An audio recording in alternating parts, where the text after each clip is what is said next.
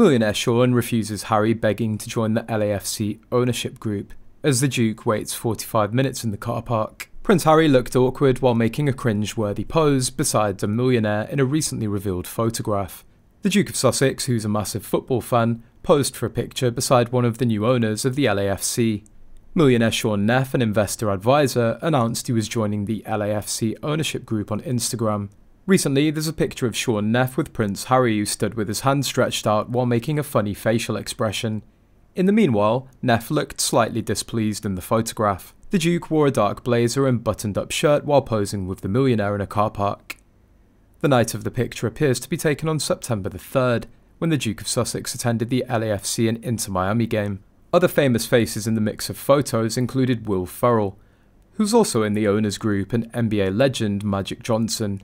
An insider reveals that Harry waited for Shaun Neff 45 minutes in the car park to take pictures and discuss the new deal with him. Meghan's husband wanted to join the LAFC ownership group, but Shaun Neff cleverly refused by saying, I have something to do. We'll talk about this later. Then he indulged Harry with a quick shot. The source says that Harry's chance of joining LAFC seems to be 0%. WME bought the Harkles tickets to the football game, but a piece of paper listing notable attendees at the match included the names Prince Harry and Meghan Markle. They were the only two people on the list who didn't have an occupation written beside their names. Harry appeared to be sitting in a director's box at the stadium, which costs between 3 and $9,000 to hire. The luxury box includes beer, wine, fruit, hot dogs, nachos, and other foods, and access to a VIP lounge. A photo from the night shows the prince watching the match from the VIP suite, sitting next to Larry Berg, the co owner of the football club.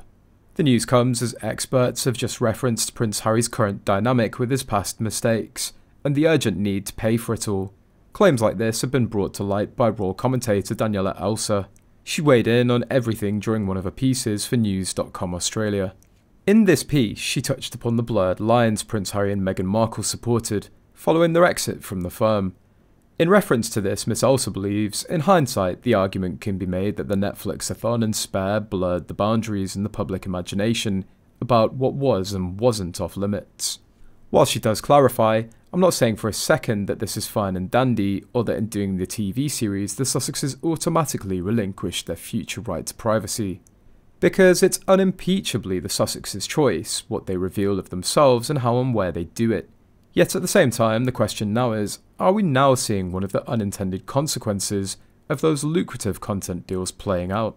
The only really good thing that can be said, at least it's been a cracking week for the Canoe and Tourist Board.